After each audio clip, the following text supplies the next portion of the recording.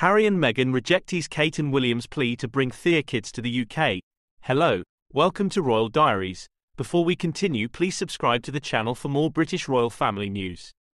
Prince William and Kate extended an invitation to Harry and Meghan, urging them to bring their children to the UK. This invitation was seen as an olive branch, indicating a desire to mend the strained relationship between the two couples. Furthermore, Harry and Meghan have expressed their willingness to provide assistance to the royal family during these challenging times, particularly as King Charles and Kate undergo cancer treatment. According to royal commentator Tom Quinn, who was interviewed by Mirror, Kate was enthusiastic about the idea of meeting Prince Archie and Princess Lilibet in England. However, Meghan declined the offer, displaying her reluctance to bring the children to the UK.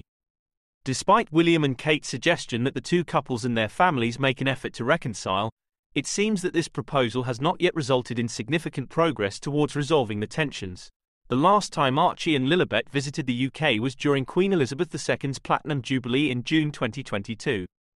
Although Meghan and Harry returned for the late Queen's funeral in September of the same year, their children were unable to accompany them due to safety concerns and the absence of UK funded security.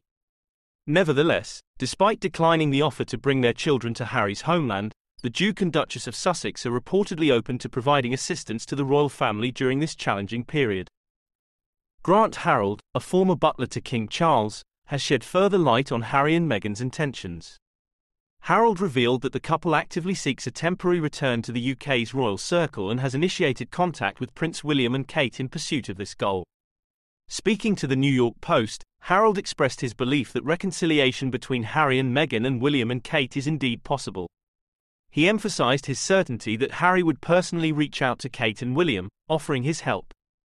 However, whether the offer will be accepted remains uncertain. Harrold also highlighted the potential for challenging times to bring families together, underscoring the strength of familial bonds.